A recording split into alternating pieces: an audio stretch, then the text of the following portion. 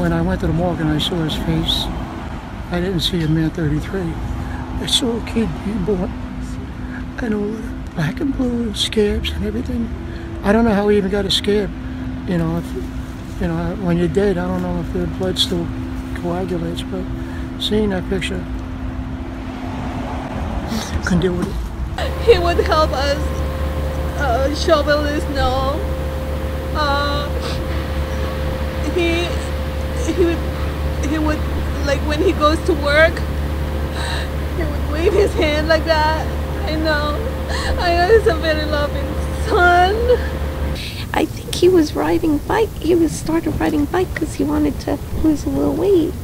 Yeah, and that's you know why he was, you know, doing that. He used to walk a lot, you know, and then then he started riding the bicycle. But he was such a nice kid. Everybody loved him.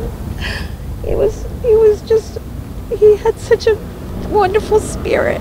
He always had a smile on his face. He was a great person.